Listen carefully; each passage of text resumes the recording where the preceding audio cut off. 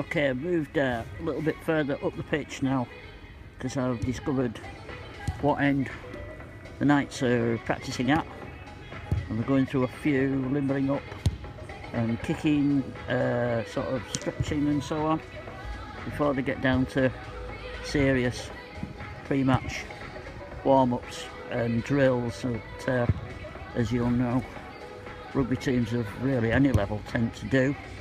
Um, just struck me that in my previous little broadcast I talked about um, the rugby yesterday between uh, Otley and Harrogate. I didn't actually mention much about the photographing. I have to say I found it really frustrating um, trying to photograph two sides and trying to be fair to both of them. And uh, although I got some shots that I was pleased with, um, equally I missed a lot of high drama that if I'd, if I'd just been photographing one of them, mainly Harrogate, uh, I would have got some much more um, significant dramatic action.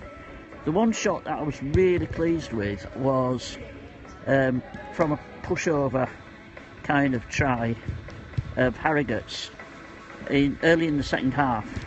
Um, not because of the try itself, because that was fairly mundane in a sense. In fact, it was a little bit controversial because it wasn't clear to me, looking back at the shots, that it was definitely over the line. But anyway, that's nothing to do with me. Um, but uh, it um, it was it was the shot, about three shots immediately afterwards, when uh, the try scorer looked up towards me and uh, well, he wasn't actually looking at me, but he was looking towards me, and uh, and did a did a really sort of quick cheer to himself and held his hands aloft. And um, about the third in that sequence, he had all his teammates around him, and each expression on each of the faces was really good. I was really pleased with it. Uh, it was more of a portrait really than a than an action shot, but it, it, it really seemed to work. Uh, but then, trying to be fair to the home side, which was Otley, I uh, I then went down on the 22, the 22 that Otley were attacking for a short while, got some quite nice side-on shots. But then, you know, as fate would have it, Harrogate broke away and scored a, a much more uh, open running kind of try. Uh, and then, to compound matters, I ended the game at Otley's end.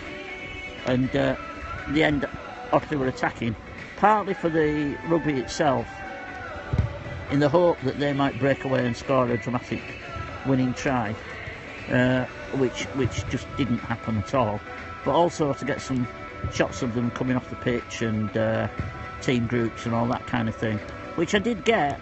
Uh, but I don't know. From a rugby sense, might have been better staying at the other end. But you know, I, I hate to uh, be disloyal to um, the home team because they're gracious enough to let me photograph on their ground, and it's a bit of a bit of a kick in the teeth to immediately start photographing the other side. But anyway, um, I didn't do that, and therefore missed quite a few uh, maybe dramatic try scoring shots. But um, as usual, you can see all of these shots on uh, Flickr. Well, you can see a good proportion of them on Flickr. I also have a Lightroom mobile um, link, which is in the shop section of my site.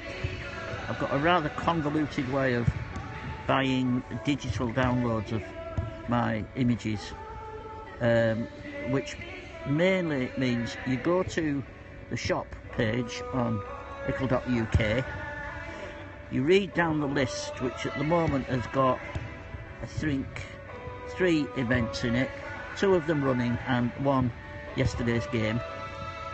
It'll take you to the Adobe uh, Lightroom mobile section. You can look through the images, and if you like one, you can download them. And uh, just being a bit quiet because we've started to line up practice. Don't want to disturb them.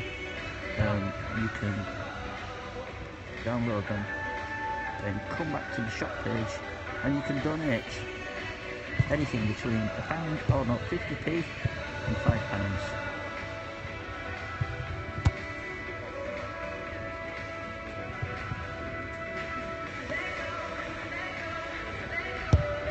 Just uh, stopping talking for a minute. So the last thing on earth I want to do is disturb any of these, either of these players.